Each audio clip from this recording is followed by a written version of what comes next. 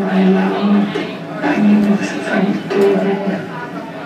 For a few seconds I was confused, tangled up in white duvet, my head wedged a